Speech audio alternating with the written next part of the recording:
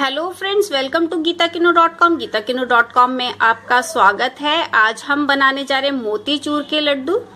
वैसे तो मोती चूर के लड्डू बनाने के लिए हलवाई वाला झारा चाहिए होता है तो वो तो हमें हमारे घर पे नहीं मिलेगा, पर मैंने उसकी जगह कुछ और यूज़ किया है इसको बनाने के लिए, जो कि इजीली अवेलेबल हो जाता है मार्केट में। तो ये बहुत ही टेस्टी बनते हैं और बहुत ही आसानी से बन जाते हैं।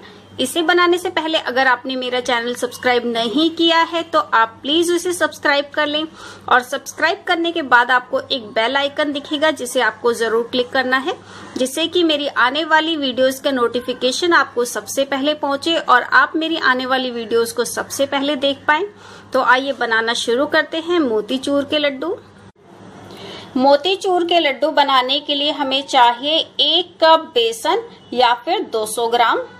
और मैंने यहाँ पर सवा कप चीनी ली है, करीब 250 gram. One tablespoon refined oil. ये मैंने पिस्ता लिया है गार्निश करने के लिए, इसे बारीक बारीक काट लिया है। और मैंने लिया है ऑरेंज रेड कलर, इस तरह का बाज़ार में इजीली मिल जाता है। मैंने एक चुटकी लेकर उसे पानी में घोल लिया है, इस तरीके से। और हमें चाहिए एक झारा जो कि मोती चूर के लड्डू बनाने के लिए हलवाई यूज़ करते हैं, पर क्योंकि वो इजीली हमारे घर पे अवेलेबल नहीं होता है, वो नहीं मिलता है तो मैंने यहाँ पे एक दूसरी चीज़ का यूज़ किया है। ये देखिए, इस तरह का ये जो बॉक्स है, वो बाज़ार में इजीली मिल जाता है। और इसमें मैंने, आप देख सकते हैं, छेद कर लिए हैं छोटे छोटे कोई भी आप नुकीली चीज़ ले सकते हैं। मैंने इस तरह का ये कंपास लिया है, जिससे मैंने छेद किया है। एक एक सेंटीमीटर की दूरी पे आपको छोटे छोटे छेद करने हैं। ये देखिए, इस तरीके से मैं आपको पास से दिखा देती हूँ। ये देखिए, इस तरीके से मैंने छोटे छोटे छेद कर लिए हैं इसमें। अगर आपके पास ये नहीं है तो आप एल्यूमिनियम फॉयल से भी बना सकते हैं। ये मैंने एल्यूमिनियम फॉयल को करीब आठ फोल्ड किए हैं इसमें और इसके किनारे मोड़ लिए हैं। इसमें भी आप इसी तरीके से छोटे छोटे छेद कर सकते हैं एक एक सेंटीमीटर की दूरी पे और आप इसे भी यूज़ कर सकते हैं मोतीचूर के लड्डू बनाने के लिए। अब हम बूंदी बनाने के लिए बैटर तैयार करेंगे। उसके लिए बाउल में हम बेसन ऐड करेंगे। ऑयल ऐड करेंगे। थोड़ा सा कलर ऐड करेंगे। थोड़ा थोड़ा पानी ऐड करेंगे और घोल तैयार करेंगे।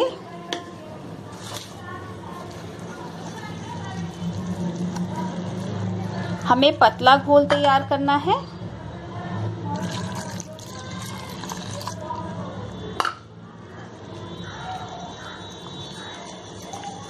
बिल्कुल भी लम्ब्स नहीं होने चाहिए।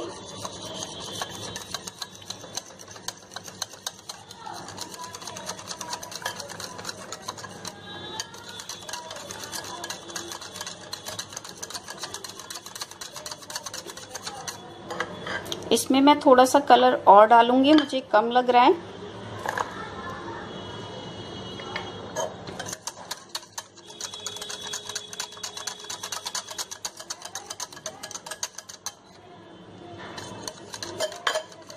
मैं आपको दिखा देती हूँ किस तरह का घोल चाहिए हमें। ये देखिए, इस तरह का पतला घोल चाहिए, इसमें लम्ब्स नहीं होने चाहिए। अभी इसके, इसे हमें और फेंटना पड़ेगा, क्योंकि अभी इसमें मोटे मोटे टुकड़े दिखाई दे रहे हैं। पर इस तरह का पतला घोल तैयार करना है। तो हम इसे और फेंट लेते हैं ताकि इसमें बिल्कुल भी लम्ब्स ना रहे। और मुझे एक कप बेसन में आधा कप पानी लगा है।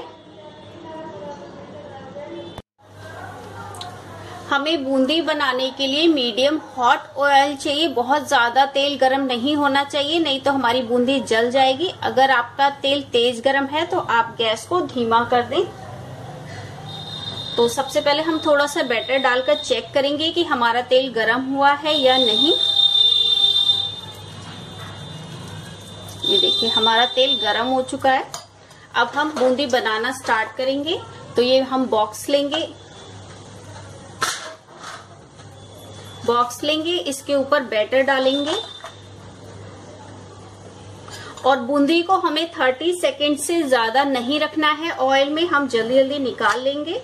तो मैं ये बैटर डाल देती हूँ और इसे हल्के हाथ से हिलाएँगे।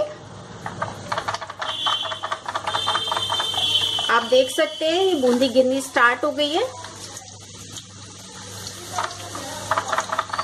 इसे हमें इस तरीके से हिलाना है।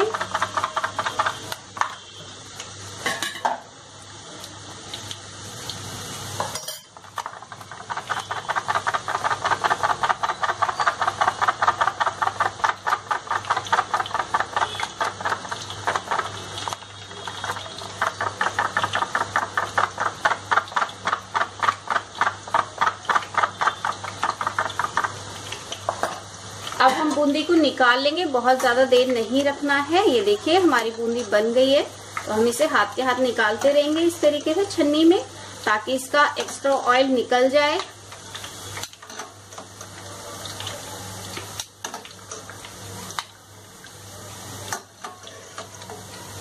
इसी तरीके से हमें सारी बूंदी तैयार करनी है।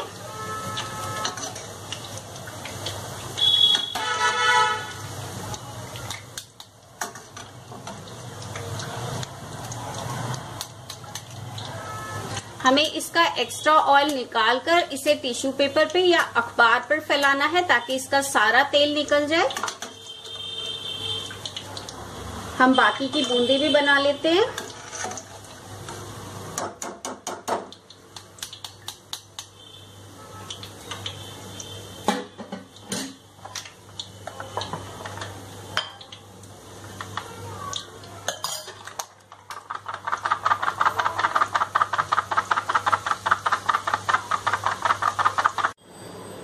ये देखिए, मैंने सारी बूंदी तैयार कर ली है और बहुत ही अच्छी बूंदी बनी है।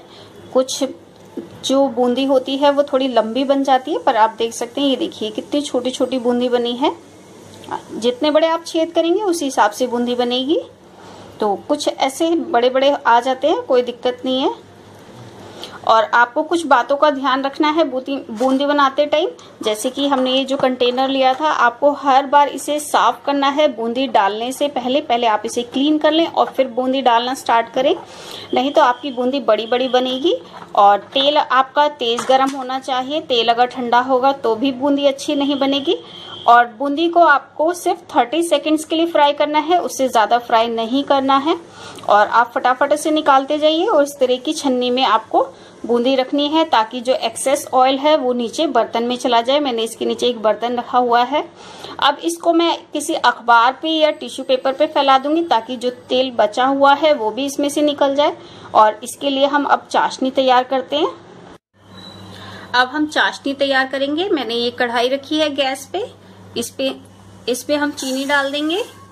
चीनी मैंने यहाँ पे 250 ग्राम के करीब ली है और मैं इसमें हाफ़ कप पानी डालूँगी। वो है 125 ml के करीब। अब इसे हम पका लेंगे जब तक कि चीनी हमारी घुल ना जाए। इसे हमें बहुत गाढ़ा नहीं करना है, सिर्फ़ चीनी घुलने तक पकाना है। तो इसे पकने देते हैं। ये देखिए, हमारी चीनी अच्छे से घुल गई है। इसमें उबाल आना स्टार्ट हो गया है। तो हम इसमें बूंदी ऐड कर देंगे।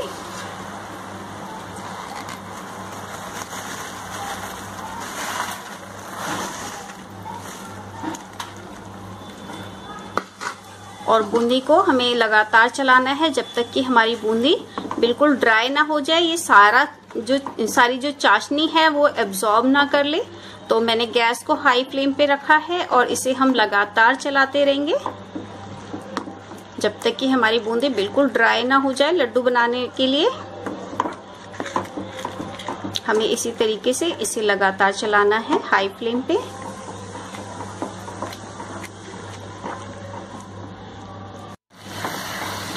ये देखिए, बूंदी ने करीब करीब सारी चाशनी एब्जॉर्ब कर ली है। अब हम गैस बंद कर, कर देंगे और इस मिक्सचर को किसी बड़े बर्तन में फैला देंगे ताकि ये जल्दी से ठंडा हो जाए। और हमें पूरा ठंडा नहीं करना है इसे गुनगुना होने तक ठंडा करना है। उसके बाद हम लड्डू बनाएँगे। ये देखिए। अब इसे हम निकाल लेते हैं।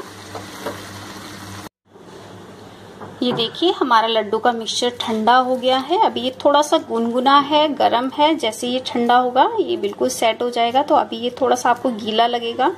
तो हम लड्डू बनाना स्टार्ट कर लेते हैं, क्योंकि मैं इसे इजीली हैंडल कर पा रही हूँ।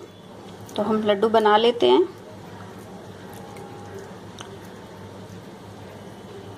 ये देखिए ये हमारा लड्डू तैयार है, इसी तरीके से हम बाकी के लड्डू तैयार कर लेंगे। ये अभी गर्म है, इसलिए थोड़ा सा गीला लग रहा है। तो जैसे ये ठंडा होगा, बिल्कुल सेट हो जाएगा।